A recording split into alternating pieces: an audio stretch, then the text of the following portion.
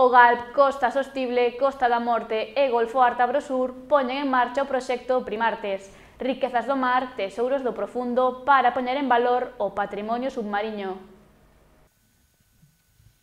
Na presentación oficial de Rimarte, Riquezas do Mar, Tesouros do Profundo, Manuel Oviedo Hermida, xerente do Galp Costa Sostible, estivo acompañado por Jesús Picallo, vicepresidente do Clúster Turismo de Galicia, Pola súa banda, Oviedo Hermida destacou que con esta iniciativa quérese poñer en valor o rico patrimonio submarino dos tres grupos, tanto material como inmaterial, a biodiversidade do noso mar e crear un produto turístico especializado para impulsar o mergullo experiencial.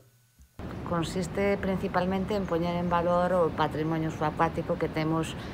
no territorio os tres grupos. Non estamos falando dun territorio que vai dende Porto do Son hasta Sada,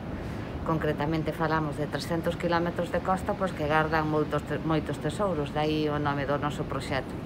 E tamén consiste en poñer en valor a biodiversidade que ten o noso mar, é dicir, as especies de recursos pesqueiros que xiran en torno aos distintos pecios eh, sumerxidos. Un dos obxectivos do proxecto é que a zona se converta nun destino para o turismo internacional. En novembro tamén se realizaron presentacións sectoriais en Camariñas, Fisterra, Porto do Son e Sada para dar a coñecer esta iniciativa de turismo experiencial aos axentes locais como son as asociacións turísticas, confrarías ou centros de buceo, xa que eles son unha parte moi importante para a consolidación de Rimartes e a súa prolongación no tempo. Crear un novo nicho de mercado no territorio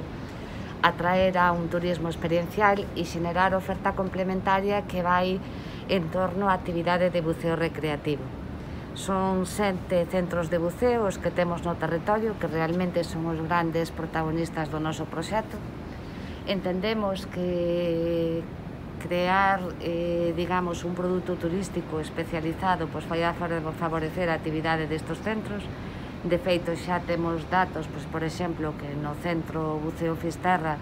durante este verán pois, estuvo acudindo moito turismo alemán, Eso supón que atraemos un turismo, un turismo internacional, eso supón que xeneramos máis tempo de estancia no territorio e se supón que realmente este turismo especializado pois, busca un tipo de aloxamentos tamén especializados que queremos involucrar no noso proxecto.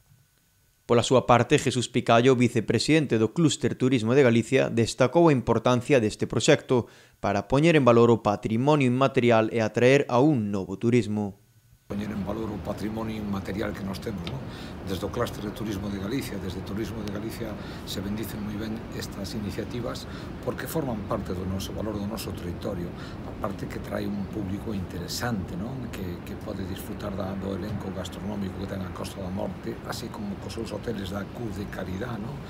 riqueza dos naufrasios eh, nos que desde ahora desde Lariño e tamén desde Fisterra pois, solemos promocionar moito esta eh, é unha opción máis para o turismo que nos visita a parte de ver eh, o megalitismo pois que teña tamén o, a astronomía a, a, a, o Camiño de Santiago o Camiño dos Faros, a Ruta dos Faros que teñan tamén a, a posibilidad tamén de facer un recorrido sobre a historia tan grande que temos sobre os naufraxios. eh.